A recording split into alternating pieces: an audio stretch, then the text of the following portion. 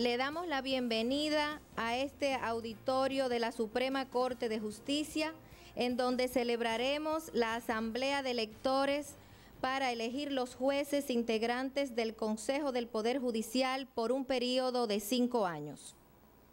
Presentamos a ustedes a los integrantes del Comité Electoral. Doctor Manuel Ramón Herrera Carbucia, juez presidente de la tercera sala de la Suprema Corte de Justicia en su calidad de presidente del Comité Electoral. El doctor Manuel Alexis Ritt, juez presidente del Tribunal Superior de Tierras del Departamento Central, miembro. El licenciado José Alejandro Vargas Guerrero, juez coordinador de los juzgados de instrucción del Distrito Nacional, miembro. La licenciada Wendy Polanco Santos, jueza de paz de los Cacaos del Distrito Judicial de San Cristóbal, miembro. Y quien les habla, Gervasia Valenzuela Sosa, directora de la Escuela Nacional de la Judicatura, en mi calidad de secretaria de este comité electoral. A continuación, vamos a resumir brevemente el proceso que ha precedido a esta actividad.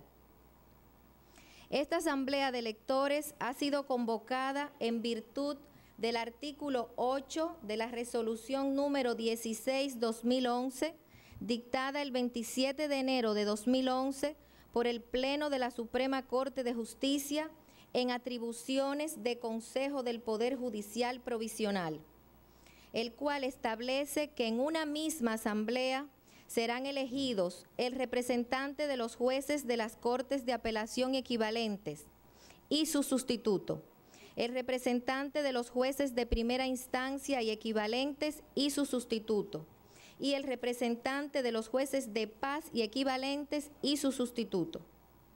El 10 de agosto de 2015, el Consejo del Poder Judicial, tal como está previsto en el artículo 14 de la Ley Orgánica del Poder Judicial, número 2811, designó los miembros del Comité Electoral. Dicho comité fue debidamente juramentado por el juez presidente de la Suprema Corte de Justicia y del Consejo del Poder Judicial.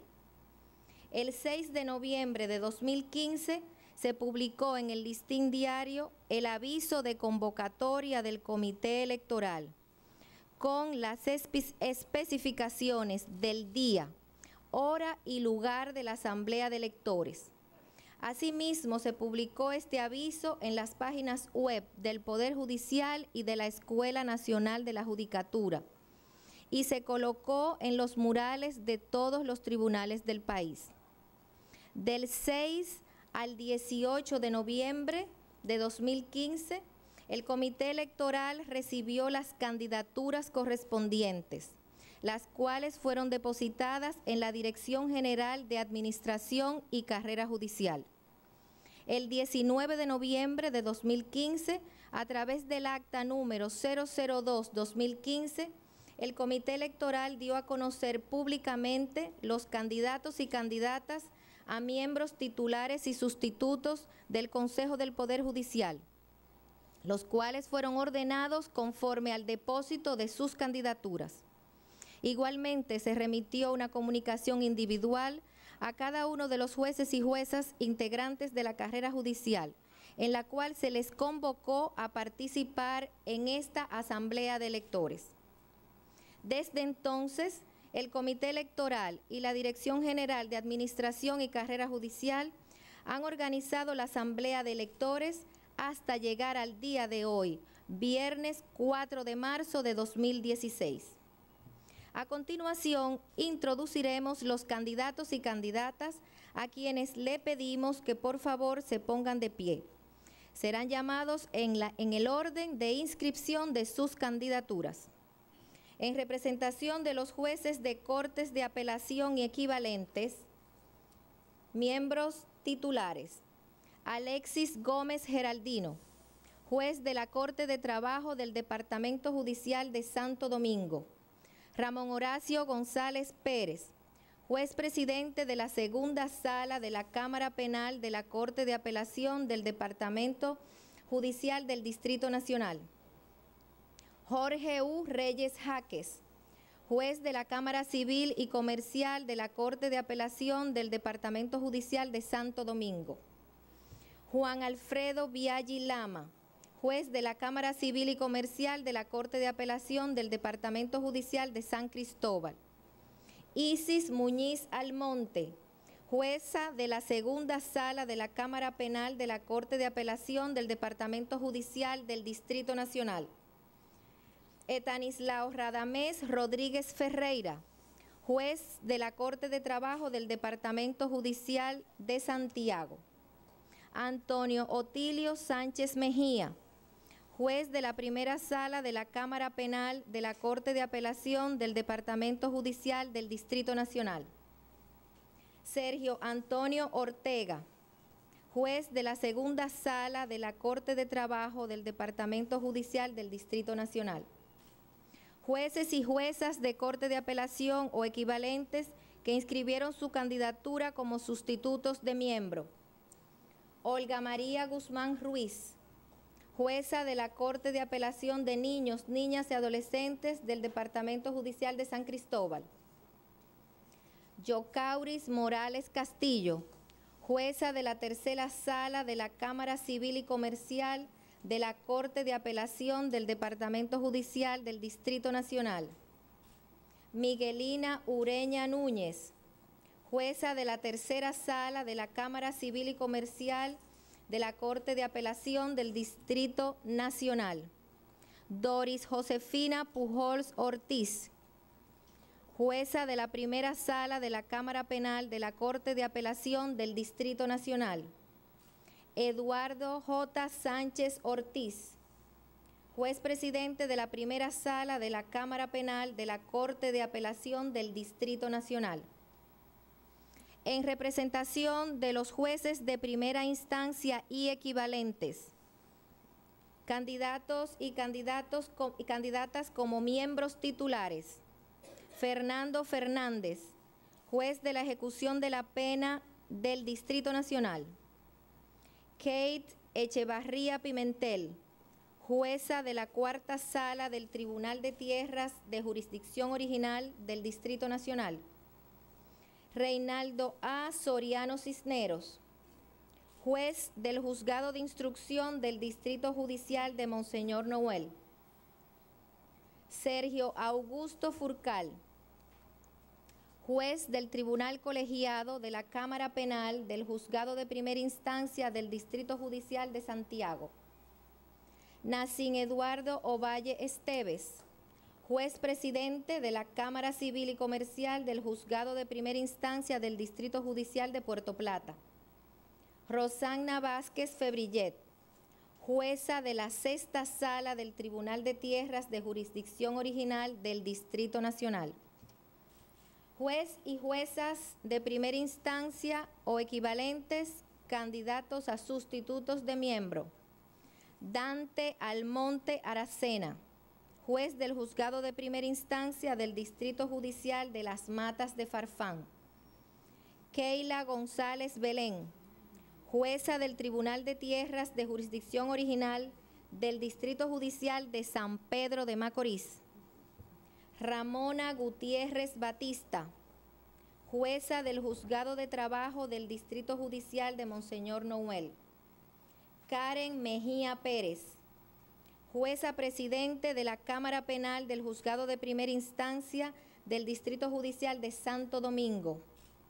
Ingrid S. Liberato Torres, jueza del Tercer Juzgado de Instrucción de Santiago en representación de los jueces y juezas de paz y equivalentes, jueces de paz que inscribieron sus candidaturas como miembros titulares.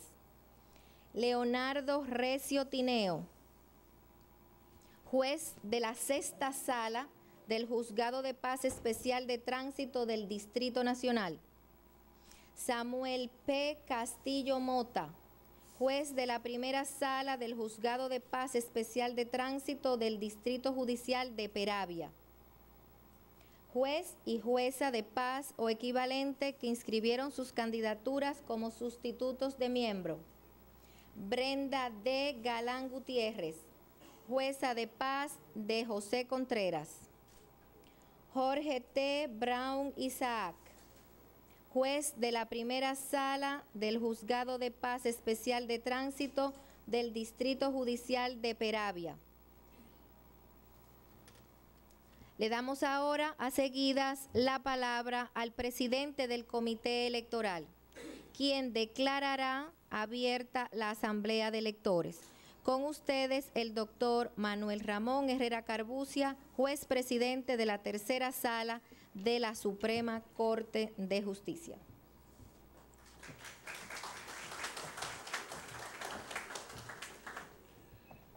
Magistrado presidente de esta Suprema Corte de Justicia, Mariano Germán Mejía, quien estará con nosotros en la apertura de estas elecciones. Doctora Gervasia Valenzuela, secretaria del Comité Electoral, miembros del Comité Electoral, observadores de participación ciudadana, el doctor José Parra de la FINJUS, el doctor Castaño, de Justicia y Transparencia, el doctor Potentini, de la Mesa de Decano de Escuela de Derecho, el doctor Medina y el representante de la escuela. Magistrados y magistradas, el día de hoy es un día candidatas y candidatos. Es un día especial para el fortalecimiento del Poder Judicial. Está en manos de ustedes el fortalecimiento y la lucha por la institucionalidad del Poder Judicial. Está en manos de ustedes el ejercicio de la vocación democrática que ha demostrado la Suprema Corte de Justicia. Vocación democrática que se debe ejercer en el día de hoy. Son ustedes testigos de que el comité electoral ha estado presto, rápido para cada una de sus inquietudes y quiere demostrar, no solo con los observadores, sino a ustedes mismos, que estamos en un ejercicio para fortalecer el Poder Judicial. Poder Judicial que necesita y requiere la sociedad dominicana indica que cada uno de ustedes, cada uno de los miembros del Poder Judicial, está presto para ayudarlo, para colaborar. Por eso nosotros nos debemos sentir agradecidos de tener esta oportunidad que nos dio la Constitución con respecto al Consejo del Poder Judicial. Pero esa oportunidad que nos dio y que debemos ejercerla en el día de hoy, la debemos ejercer con una visión de futuro, con una visión de fortalecimiento, con una visión de luchar por los mejores intereses del Poder Judicial. Creo, sin lugar a dudas, que vamos a salir fortalecidos. He estado pendiente inclusive en estos días que estuve fuera y que llegué a las 12 de la mañana y he estado aquí a las 7 de la mañana. ¿Por qué? Porque necesitamos, necesitamos fortalecer el Poder Judicial, este Poder Judicial que con la ayuda y la dirección del presidente va por buen camino. A veces se quiere, y lo ha dicho el presidente, cuando hay malas noticias corren muy rápido. Pero una buena noticia es esta elección, este, este proyecto que tenemos que participar cada uno de ustedes. Por eso nadie se le ha negado el derecho al ejercicio del voto. Por eso se le ha permitido inclusive presentaciones en la escuela del Poder Judicial. Por eso el comité electoral ha estado presto para cada una de sus inquietudes. Y por eso en el día de hoy, dos situaciones técnicas. Una, no vamos a permitir proselitismo en las afueras del Palacio de Justicia. Todos saben que yo, y lo he dicho delante del magistrado presidente, tenemos estilos diferentes, pero vamos al mismo objetivo. Soy un poco duro, por no decir la palabra, con respecto a las indisciplinas. No vamos a permitir proselitismo fuera del Palacio de Justicia, lo primero. Segundo, todo el que venga a votar tiene que dejar el celular en su silla o dejarlo aquí en la mesa. Nadie puede votar con celular. Y vamos a pedirle encarecidamente a ustedes, encarecidamente, que ejerzamos la disciplina y la vocación que debemos tener todos los ciudadanos dominicanos. Somos magistrados, pero ante todo somos ciudadanos. Y como buenos ciudadanos debemos ejercer el voto con la mayor prudencia, con la mayor disciplina y con la mayor vocación.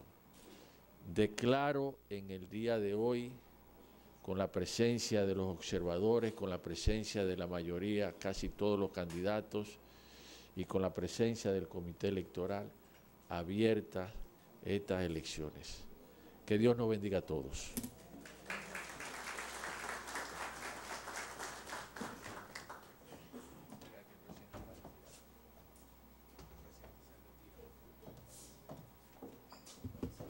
Una vez declaradas oficialmente abiertas estas asambleas de electores, el magistrado presidente de la Suprema Corte de Justicia y del Consejo del Poder Judicial, quien nos ha acompañado en la apertura, se retira. Gracias por acompañarnos, magistrado.